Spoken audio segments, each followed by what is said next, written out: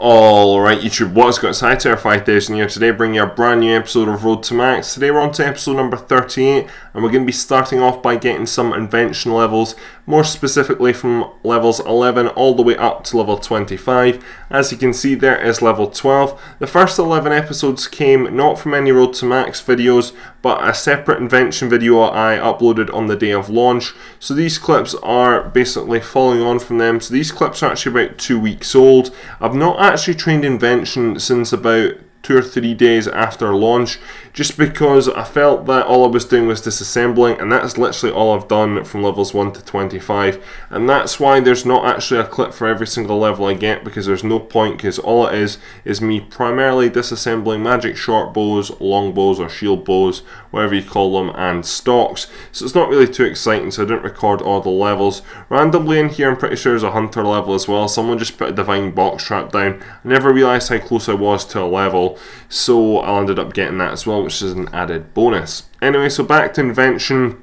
So far it's just been disassembling. I've basically been building up my stockpile of components and parts and also weapon gizmo shells. Weapon gizmo shells are probably the best way of leveling up invention which I'll talk about in a minute. So the first few days of launch were a wee bit random because not many people knew really much about the skill, so no one really knew the best ways of leveling up. I realise now two and a bit weeks on that there's very detailed Wikipedia pages, guides and forums. However, there wasn't that in the first few days, so it was me just going ahead and trying out a lot of different items and really seeing what worked. Magic items seem to work very well. However, obviously when new skills come out and invention and special, it was very it had a large effect on the Grand Exchange. This meant that a lot of items dropped down in price, but a lot of items also raised in price because the demand was very, very high. So these magic items, which I think the most valuable one was probably about 500 GP, that shot all the way up to about 3k six times the amount and if you're only getting I think I was getting maybe 20 or so XP per disassemble at one stage anyway because they did land up nerfing the XP rates. I'm getting about 28 XP then that's not really going to be worth 3k is it? So what I decided to do was go ahead and buy the magic logs fletch them myself and then go ahead and disassemble them. So basically when I got to about level 17 or so I seen an update coming up and I was like I can just guess what this update is going to be. And it's basically them nerfing the XP rates. I don't know if Jagex, they didn't mean to do this but I feel they didn't really test the XP leveling scheme too well. Basically, one thing I need to say actually is the leveling system is different for Invention. To get level 99 you require 33 or 34 mil, whereas the previous 26 skills you only require 13 mil to get to level 99. It means that the lower levels last longer, and it means that the content at lower levels isn't as dead, and it means that the higher levels are shorter, so it's not as much of repetitivity at the higher levels. Whereas, like in the previous 26 skills, the higher levels, a lot of skills to do drag. Right now, as you know, I'm doing a lot of fishing. It's literally just standing at barbarian fishing for hours on end, going ahead, just clicking. It's not very entertaining, and I think they were trying to get rid of that, which is very, very good to see. However, in a sense, it's backfired because they've not ended up testing the XP rates too well, and it's meant that within um, less than 48 hours of the skill coming out, someone already had 99, which is, remember, 33 million XP. So within 48 hours having 33 million XP, that's close to a million XP an hour, which is very, very high. And then if you think, I'm pretty sure it was maybe about a week, maybe just over a week, someone had 200 million XP. So they didn't do something right from launch there. That's why they landed up nerfing the Dissemble XP. As you can see right now, I'm getting 28. That will drop down to 14 soon. I'm not at all sure if it was just poor testing or they didn't realise it wasn't like this person or these people ended up doing a glitch, they just found a really good legal way to do it and they ended up getting loads of levels. I feel in a sense that sort of ruined the skill because the poor launch has meant that people have already finished with the skill. They've been waiting, I don't know when Divination was launched, maybe two years ago, they've been waiting two years for a new skill and it's already done within a week. They're also going to bring out, and I'm assuming they still are going to bring out, batch 2 of Invention, and that is basically going to bring in some more added stuff, but a lot of people aren't even going to get to use that because they're already like level 99, 120 or 200 mil. Jagex's fault, I guess, there, but it probably just needed a wee bit more testing. Anyway, so that's really all I landed up doing to be honest, going ahead and just disassembling stuff. I landed up changing to maple shield bows in the background just because magic logs started going up in price. Now however though it's all about weapon gizmo shells and that's what I landed up making with some of my components and parts like you can see in the background. There's, I've got a very large stockpile of for example tensile parts but then clear parts for example which are quite good for gizmo shells and a few other things I don't have a lot of. So that's why I started to change items up as I went on. Weapon gizmo shells, basically these can be added to weapons, hence weapons in the name, and they can be leveled up. So I don't 100% sure how it works, but if you watch our friend's video, basically you add one of these on, it gives you a perk, which can be positive or negative, a combination of stuff like you get 30% more damage on dragons. You then level that up, so the weapon can then go from levels 1 to 10, I think, and then basically you get XP for that, so you get like 107,000 experience or something. Maybe not 107,000, um, but something along them lines anyway. That's what you get for that weapon. You land up disassembling that whole weapon, but because it's got all that XP, you get that large dump of XP at once. That maybe takes you an hour or so to do it, and that's how you level up the skill. That took me a wee while to realise, and now I know what I'm going to do is get my Charming Imp back, do Slayer, so I can level up a weapon with a weapon gizmo, and also go ahead and get some charms as well, and I think that's how I'm going to get back into combat. So that's really all what I say about invention for now. Tell me how you thought launch was, if the XP rate should be a wee bit nerfed, and that ladies and gentlemen, is me getting up to level 25. Well, I suppose it's not quite level 25 because you didn't actually see me getting it, but that was me getting up to level 25, basically the process that I did, and now I know really more about this skill, I can actually go ahead and train it properly, because I was sort of a wee bit blind training the skill because I didn't really know too much about it. Also, as I said, I got a hunter level in there, nothing really to say about that, just through divine locations, I've not trained Hunter in a long time, however I do have a lot of protein traps in my bank which I'll end up using on the next double XP weekend. In the background there we go, there's another agility level. I've been training agility mainly, well not really mainly I guess now, because I'm doing fishing, I'm doing barbarian fishing and that gives you a bit of agility XP it doesn't give you much per fish. I'm not really at all sure because there's three different kinds of fish. and I don't know what the exact breakdown is, but I think it's something like you maybe get for one fish you get like 60 fishing XP, seven and a half uh, strength XP, and seven and a half agility XP. But you are catching a fish at least every five seconds, and I always put my double XP onto agility. So that really means that I'm getting a fair amount over time of agility XP, along with Serenity Post, which you can see in the background. That has meant that I've actually gained a few agility levels, and because I am still training fishing, which you'll see I'm about to get a few levels in, uh, that really means that I'm getting a fair amount of agility XP again from not directly doing agility, which is nice because I really don't like training agility directly. I know when I get 99 fishing and I'm, I'm going to have to end up doing some direct agility at some point because I can't exactly do fishing and Serenity posts forever. However, for now anyway, it's ideal. So, a bit of a surprise level now. I landed up going ahead and doing a daily, which I suppose that isn't too much of a surprise. It was some divination and it was some luminous memories which are in the desert at the very southeast of the RuneScape map. Down there, basically did a daily. I was very close to the level anyway, and through doing some invention, you actually get a wee bit of divination XP with some like gizmo shells and some, I forgot what they're called, some stuff you create anyway. You get a fair amount of XP from doing them as well. So I was very close to level anyway. I decided to go ahead and do the daily so I can just get level out the way.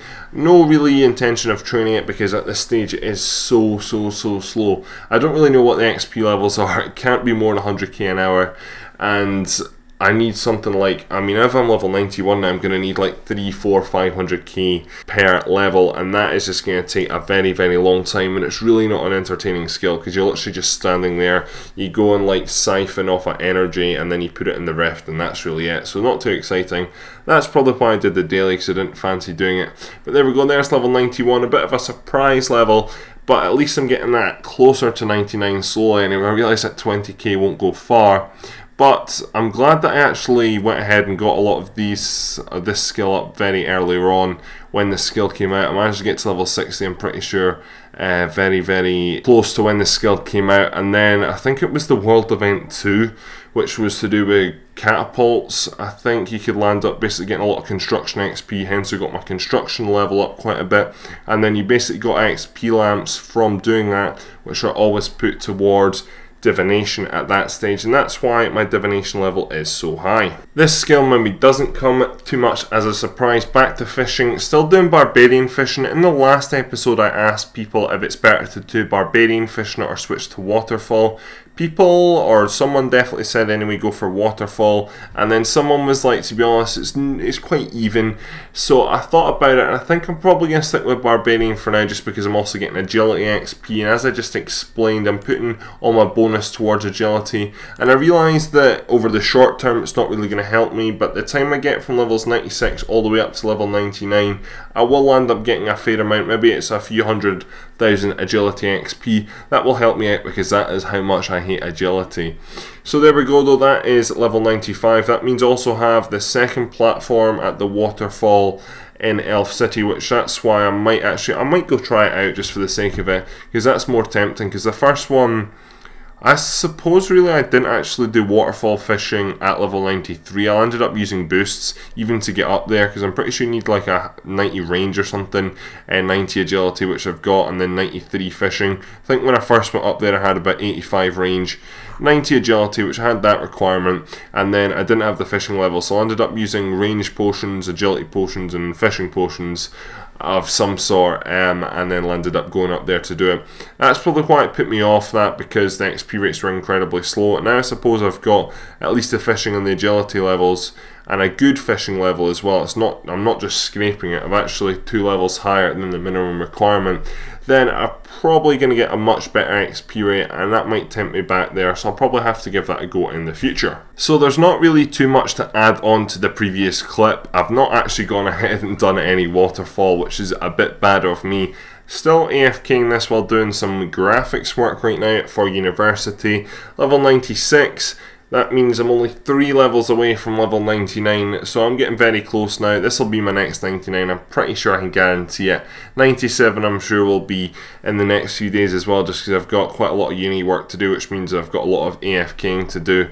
Um, again, I really just want to get down to do some invention, but it's just finding the time, honestly, because I do have so much to do. As well in between quests, when I do get free time on RuneScape, it's not usually, it's usually I put that time towards quests instead of going ahead and like doing combat or stuff like that. So that's why mainly it is AFK skills that I'm doing right now. However, if you slowly look at it, I'm actually running out of AFK skills, which is kind of annoying. I still do have rune crafting, which rune crafting will take quite a while. Construction isn't really AFK, but that is a buyable. I've got Herblore, which is semi-AFK, and Smithing, which are both semi-AFK.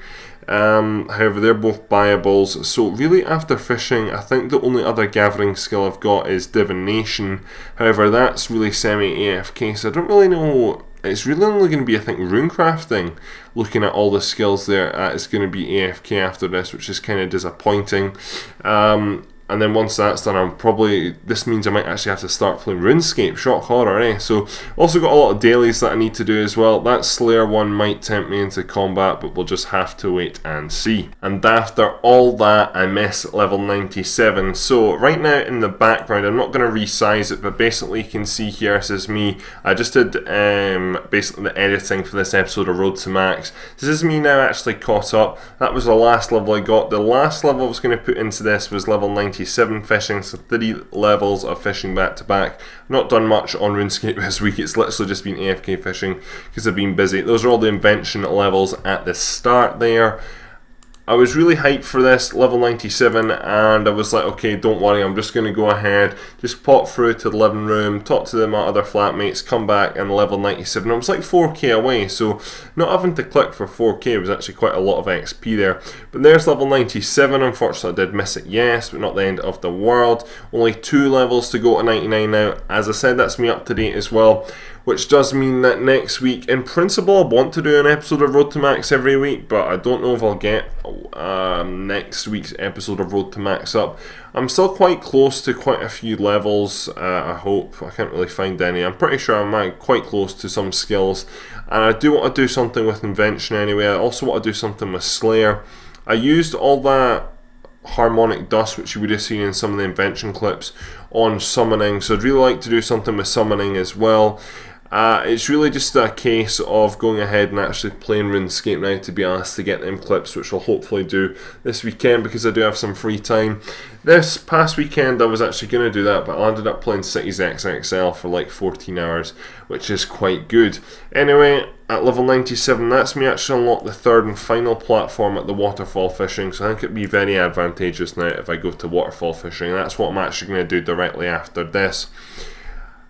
Going to agility though, say for example if I was to type in level 93 and we got an agility level in that video, that's me already halfway through the level. So if I was to do um, this fishing barbarian here all the way to level 99 I'd need enough get level 93 agility. So as I said short term agility training or I guess agility XP getting it's not really training at barbarian here. It's not too efficient but long term when you get multiple fishing levels here it does have a knock on effect. I don't really think it's had too much an effect on strength I did get a strength level recently, but that was partially to do with this and also pest control when their double points XP weekend was on. Anyway, so that is really it for this episode. It's really weird now to see me having a total level of 2423. That's quite different, but obviously the new skill had a major effect on that because if you do take away 25, however, I'm actually very close to 2400 in the old system, which is pretty cool. At 209,000 experience now, again, that's taking into consideration invention, but there's only 144k there, so. Not too bad, not too bad. I do hope you have enjoyed this episode. Throughout this episode, you would have seen I had a more zoomed in screen, so hopefully everything is much more detailed because I used to do full screen, which is that, so it would have been on a much larger scale, whereas I've now scaled it down. I play on a 1920 by 1080 monitor, however, I've scaled this down to 1280 by 720, so hopefully it's not too bad anyway and the quality is much better and hopefully that makes for a better episode. Anyway, that's going to be all for this episode. Hopefully there'll be one out next week. My plans for this weekend are to do some more quests. However, I don't know what quest. Basically, I'm making a video every single day right now um, I'm making very good use of my time. I've got myself a wee checklist and all that wee cute stuff. So um, basically today's stuff, for example, is to complete a Road to Max video, start a piece of coursework, continue with another piece of coursework and do some maths revision for a test on Thursday. So I'm basically planning out my days now. So tomorrow it's going to be a quest hopefully which I'll get done. I don't really know what quest I'm going to do. I think someone wants me to follow the Morytania quest line, which I need to actually complete a quest. Currently, right now, I am my quest progress. I think I've got one. Yeah, I've got three quests in progress, which is not a lot. I need to complete this, and then I need to start the Morytania quest line, and I think that's what I'm going to end up following. Unfortunately, I can't make a quest guide on in search of Myreque. I want to say Merc, but not really at all sure. However, I'll do that on my second account once I get Quest Cape. As I said, I'm pretty sure we're about 60 quests away. If I go to this summary, and yeah, so 59 quests I've not completed yet. You do need to remember though that there is a recipe for disaster in there, which has quite a lot of sub quests. So that would be more than 60 videos anyway to do that's really the aims, short-term aims and long-term aims, I guess you could say. I thought I'd just randomly add that in at the end there. It's not really me adding it in, it's me just randomly blabbing shite like usual. Anyway, that's going to be all for this episode, so thank you very much for watching. Subscribe if you're new around here. Please hit that like button as it does really, really help me out. Tell me what you think of the quality. Also, tell me what you think of how Invention was. Now that it's been two weeks, I think a lot of people have uh, different things to say about it. And also, tell me your level. I'm curious to see how people are doing. I've got one friend that's now got level 99. I've got a friend that's also at about a level 110 110 I think he was at last he messaged me so be interesting to see where everyone's at anyway thank you very much for watching my name is Hightower 5000 and I'm out yeah, adios